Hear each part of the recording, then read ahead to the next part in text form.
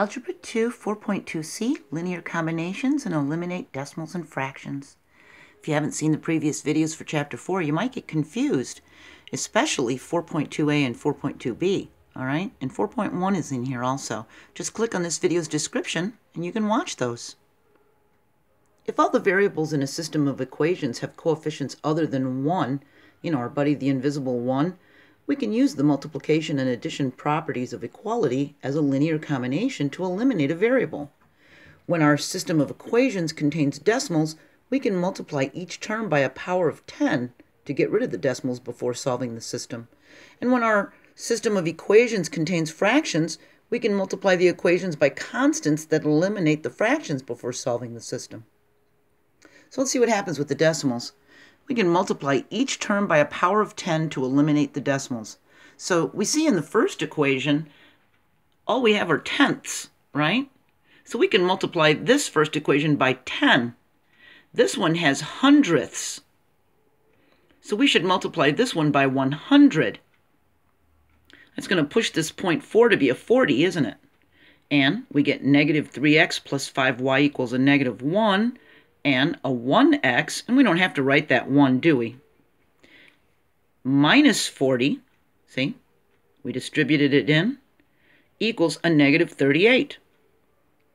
Well, I still don't see a zero pair here, right? And we need to eliminate one of these variables. So remember, sometimes the system of equations won't have a zero pair, and in that case we can multiply every term in one or both equations by a constant to create values that'll make a zero pair. So for this equation, this second equation, because it's got just 1x, we can multiply the whole thing by a negative 3 on each side, can't we? Then we'll have a zero pair with this negative 3x, and that'll make a positive 3x. This makes positive 3x minus 120y equals negative 114. Now we can add the system. We've got this zero pair that's going to eliminate themselves, right, as an additive inverse, and a positive 5y minus 120y gives us 115y, and we get a negative 115 on this side also. We can divide both sides by this coefficient 115, and we get a positive 1.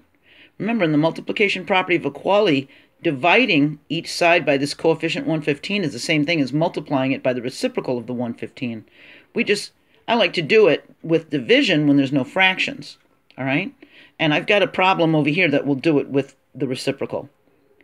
Now that we know that y equals 1, we can substitute that 1 for y in either of the equations, it doesn't matter which one, to solve for x. So I chose this smaller equation, because I didn't want to multiply by 120 or 114, that was really big. So I chose the smaller, easier one. And I've got negative 3x plus 5 times 1.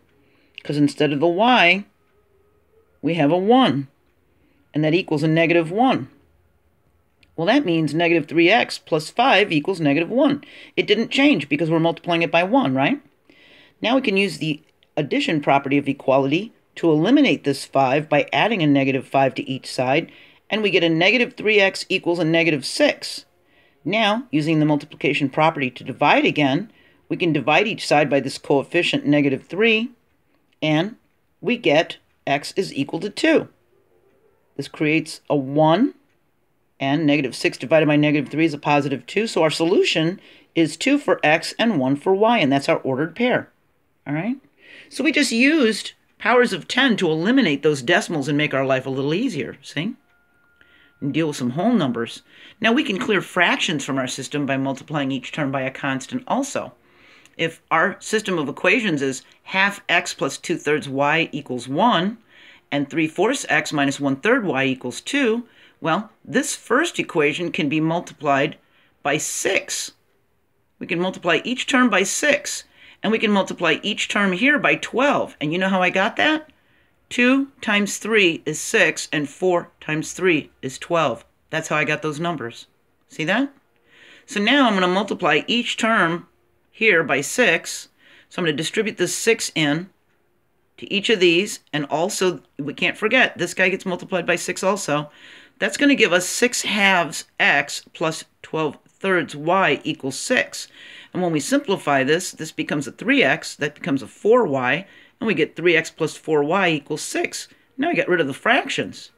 Now we can multiply each term here by the 12, and we distribute this 12 into each one of these. We don't forget to multiply after the equal sign by 12.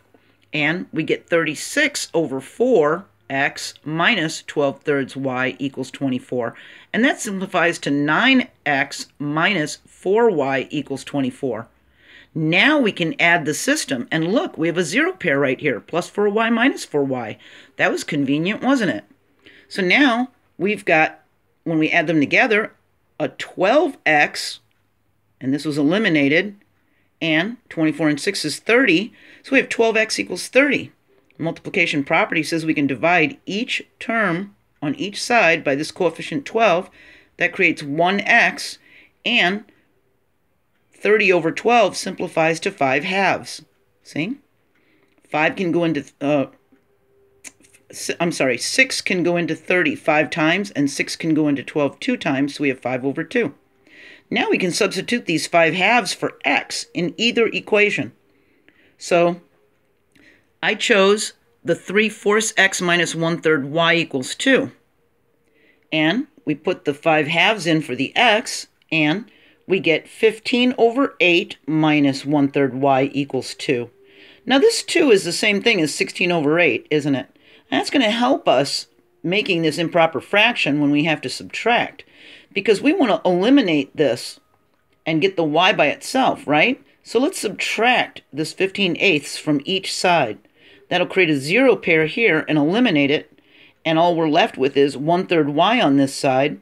And if we look at this 2 as a 16 eighths, we could subtract the 15 eighths and get 1 eighth.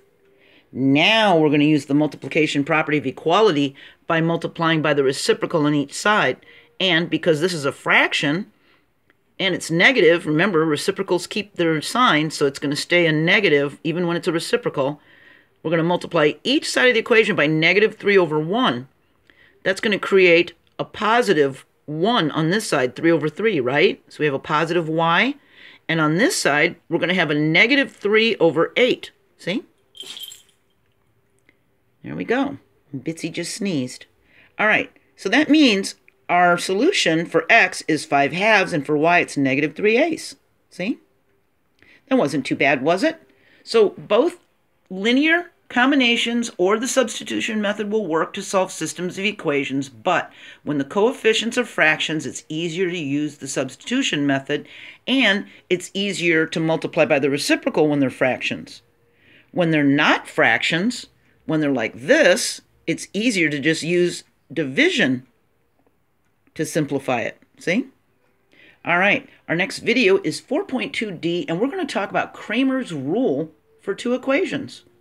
And I'm going to add this video to the Algebra 2 playlist so you can use it for studying, review, or for catching up on the videos of mine that you've missed. There's going to be a link to the Chapter 8 playlist from Algebra 1 for systems of equations because I talked about all of this in Algebra 1. So you'll be able to watch that also for some extra deep learning, okay? Maybe I said it in a different way or used different problems. Maybe I even used a problem that you've got in your textbook. Who knows? All right? So keep trying, and I'll see you in the next video. Bye.